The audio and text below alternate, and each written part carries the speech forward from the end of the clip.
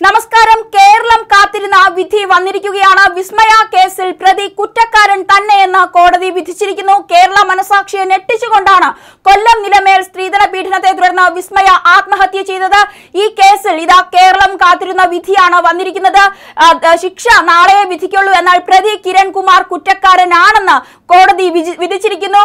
കോടതി മുഴുവൻ ജനക്കൂട്ടത്തിന്റെ ഇരമ്പലായിരുന്നു. ജനക്കൂട്ടമെല്ലാം ഒരു ഒരു ഒത്തിരി ഒരുപാട് ജനക്കൂട്ടത്തിന്റെ നടുവിലാണ് കോടതി വിധി പ്രസ്താവം നടത്തിയത് കൊല്ലം ഒന്നാം അഡീഷണൽ സെഷൻസ് കോടതിയാണ് വിധി പ്രസ്താവിച്ചിരിക്കുന്നത്. അതായത് കേരളം മുഴുവൻ ചർച്ച ചെയ്ത അല്ലെങ്കിൽ കേരളത്തിന്റെ ഉന്നത ഉദ്യോഗസ്ഥരടക്കം അല്ലെങ്കിൽ രാഷ്ട്രീയം മുതൽ എല്ലാവരും ഒരുപോലെ ചർച്ച ചെയ്ത ഒരു വിഷയമാണ് വിസ്മയ കേസ് അല്ലെങ്കിൽ വിസ്മയുടെ സ്ത്രീധന മരണം. എന്തായാലും സ്ത്രീധന മരണം സ്ത്രീധന പീഡനം ആത്മഹത്യാ പ്രേരണ ഉപദ്രവിക്കൽ ഭീഷണിപ്പെടുത്തൽ സ്ത്രീധനം ആവശ്യപ്പെടൽ എന്നീ കുറ്റങ്ങളാണ് ഭർത്താവ് കിരണിനെതിരെ കേസിന്റെ കുറ്റപത്രത്തിൽ പോലീസ് ചുമത്തിയിരിക്കുന്നത്. വളരെ നല്ല രീതിയിൽ ഏറ്റവും മികച്ച രീതിയിൽ കേസന്വേഷണം പൂർത്തിയാക്കിയ ഒരു കേസ് കൂടിയാണ് വിസ്മയ കേസ്. വെറും എൺപത് ദിവസം കൊണ്ട് തന്നെ കുറ്റപത്രം സമർപ്പിച്ചു. വെറും പത്ത് മാസവും രണ്ട് മൂന്ന് ദിവസവും എടുത്തുകൊണ്ടും തന്നെ വിധി പ്രസ്താവനത്തിന് കോടതിയെ സമീപിക്കാനായി വിസ്മയ കേസിൽ എന്തായാലും കേസിൽ ഇപ്പോൾ കോടതി വിധി പ്രസ്താവിച്ചിരിക്കുന്നത് പ്രതി കിരൺകുമാർ കുറ്റക്കാരൻ തന്നെയാണെന്നാണ്. ഗവർണർ അടക്കമുള്ളവർ ചർച്ച ചെയ്ത അല്ലെങ്കിൽ ഗവർണർ അടക്കമുള്ളവർ പ്രതികരണം രേഖപ്പെടുത്തിയ ഒരു കേസ് കൂടിയാണ് വിസ്മയ കേസ്. നിലമേൽ കൈതോട് നിവാസികളായ ത്രിവിക്രമൻ നായരുടെയും സജിതയുടെയും മകളായ വിസ്മയയെ രണ്ടായിരത്തി ഇരുപത്തിയൊന്ന് ജൂൺ ഇരുപത്തിയൊന്നിന് ഭർത്തൃവീട്ടിലെ ശുചിമുറിയിൽ തൂങ്ങി മരിച്ച നിലയിൽ കണ്ടെത്തുകയായിരുന്നു. കൂടുതൽ സ്ത്രീധനം ആവശ്യപ്പെട്ടുകൊണ്ട് ഭർത്താവ് കിരൺകുമാർ തന്നെ ശാരീരികമായും മാനസികമായും പീഡിപ്പിച്ചിരുന്നതായി വിസ്മയ സഹപാഠിക്കും സഹോദരന്റെ ഭാര്യയ്ക്കും അയച്ച വാട്സാപ്പ് സന്ദേശങ്ങളും ചിത്രങ്ങളുമാണ് ആദ്യമൊക്കെ പുറത്തു വന്നത് തുടർന്ന് വിസ്മയയുടെ ഭർത്താവ് പോരുവഴി അമൃത് ഭാഗം നിവാസി കിരൺകുമാറിനെ പ്രതിയാക്കി പോലീസ് കേസെടുക്കുകയായിരുന്നു. മാതൃകാപരമായ ഒരു ശിക്ഷ തന്നെ കിരൺകുമാറിന് ലഭിക്കണമെന്ന് കേരളം ഒട്ടാകെ ആഗ്രഹിച്ച ഒരു കേസിൽ കൂടിയാണ് ഇപ്പോൾ വിധി വന്നിരിക്കുന്നത്. കേസിൽ കിരൺകുമാർ മാത്രമാണ് പ്രതിപട്ടികയിലുള്ളത്.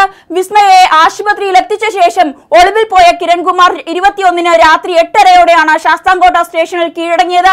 വിസ്മയെ രണ്ടായിരത്തി ഇരുപത് മെയ് മുപ്പതിനാണ് അസിസ്റ്റന്റ് മോട്ടോർ വെഹിക്കിൾ ഇൻസ്പെക്ടർ ആയിരുന്ന കിരൺകുമാർ വിവാഹം കഴിച്ചത്. വിവാഹം കഴിഞ്ഞ് ഒൻപതാം ദിവസം തന്നെ വിസ്മയ അച്ഛൻ ത്രിവിക്രമനോട് നിങ്ങൾ എന്നെ ഇവിടെ നിർത്തിയിട്ട് പോവുകയാണെങ്കിൽ ഇനി എന്നെ കാണില്ല അച്ഛ എന്ന് ഞാൻ എന്തെങ്കിലും ചെയ്യുമെന്നും ഒക്കെ കരഞ്ഞുകൊണ്ട് പറയുന്ന ശബ്ദ സന്ദേശമാണ് കഴിഞ്ഞ ദിവസങ്ങളിൽ പുറത്തു വന്നത്. എല്ലാവരെയും നൊമ്പരപ്പെടുത്തിയ ഒരു ശബ്ദ സന്ദേശം കൂടിയായിരുന്നു. എന്തായാലും കേരളത്തിലെ സ്ത്രീധന വിഷയത്തിലെ ഏറ്റവും പ്രമാദമായ ഒരു കേസായി തന്നെയാണ് വിസ്മയ കേസ് നിലനിൽക്കുന്നത്.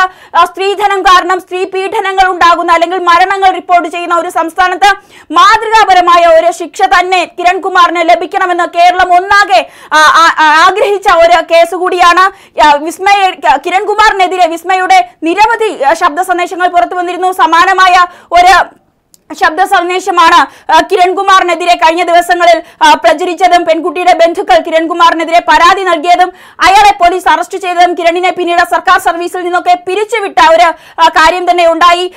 ഗതാഗത മന്ത്രിയായ ആന്റണി രാജു ആ സമയം പറഞ്ഞത് കിരൺകുമാറിന് സസ്പെൻഷൻ ലഭിക്കാതെ അല്ലെങ്കിൽ വിസ്മയ കേസിലെ നീതിയുടെ ആദ്യ പടി ചവിട്ടാതെ കിരൺകുമാർ വിസ്മയയുടെ വീട് സന്ദർശിക്കില്ല എന്നുള്ള നിലപാട് പോലും എടുത്തു. അതായത് എല്ലാവരും ഒത്തൊരുമിച്ച് സ്ത്രീധന നിരോധനത്തിന് വേണ്ടി അല്ലെങ്കിൽ സ്ത്രീധന ആ, വിഷയത്തിൽ പീഡിപ്പിക്കപ്പെട്ട കുട്ടിക്ക് വേണ്ടി നിന്ന ഒരു കേസ് കൂടിയാണ് Vismaya case. I G Harshita അട്ടല്ലൂരിയുടെ മേൽനോട്ടത്തിലാണ് എൺപത് ദിവസത്തിനകം കേസിന്റെ അന്വേഷണം പൂർത്തിയാക്കിയത്.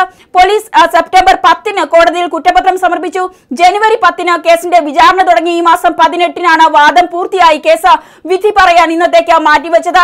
വിചാരണ അന്തിമ ഘട്ടത്തിലെത്തിയ സാഹചര്യത്തിൽ ഒരു മാസം മുൻപ് സുപ്രീം കോടതി കിരണിന് ജാമ്യവും അനുവദിച്ചിരുന്നു. എന്തായാലും പ്രതി കുറ്റക്കാരനാണ് എന്ന് കണ്ടെത്തിയതോടെ ഇനി കിരണിന് ലഭിക്കുന്ന ശിക്ഷാവിധികൾ നാളെ അറിയാം. അതിനുശേഷം ഉടൻ തന്നെ പ്രതിയെ അറസ്റ്റ് ചെയ്യാനും വേണ്ട ശിക്ഷാ രീതികൾ അനുസരിച്ച് എന്തൊക്കെയാണ് ഇനി അടുത്ത നടപടിക്രമങ്ങളെന്ന് അറിയാൻ കഴിയും. എന്നാൽ കിരൺകുമാർ പറയുന്നത് താൻ തെറ്റൊന്നും ചെയ്തിട്ടില്ല. കോടതിക്ക് കാര്യങ്ങൾ ബോധ്യപ്പെട്ടിട്ടുണ്ടെന്നായിരുന്നു. അവസാനം വരെ വിധി പ്രസ്താവനത്തിന് അവസാനം വരെ കിരൺകുമാർ പറഞ്ഞത്. എഡിറ്റ് ചെയ്യപ്പെട്ട ഡിജിറ്റൽ തെളിവുകളാണ് പുറത്തു വരുന്നതെന്നും എന്തിനാണ് വിസ്മയ ശബ്ദരേഖയിൽ കരയുന്നത് എന്നുള്ളത് ഉൾപ്പെടെയുള്ള മുഴുവൻ കാര്യങ്ങളും കോടതിക്ക് ബോധ്യം വന്നിട്ടുണ്ടെന്നുമാണ് കിരൺകുമാർ പറഞ്ഞത്. എന്നാൽ തെളിവുകളെല്ലാം കോടതിക്ക് വ്യക്തമായി തന്നെ ബോധ്യപ്പെട്ടു എന്നുള്ളതാണ് കോടതിയുടെ വിധി പ്രസ്താവത്തിൽ നിന്ന് മനസ്സിലാകേണ്ടത്. അതിന് അന്വേഷണ ഉദ്യോഗസ്ഥർക്ക് കഴിഞ്ഞു.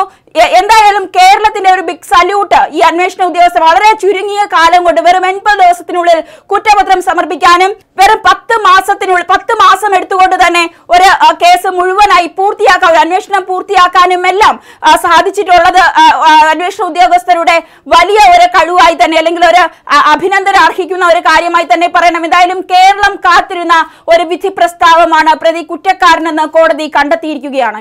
News desk global news T Malayalam. Thank you.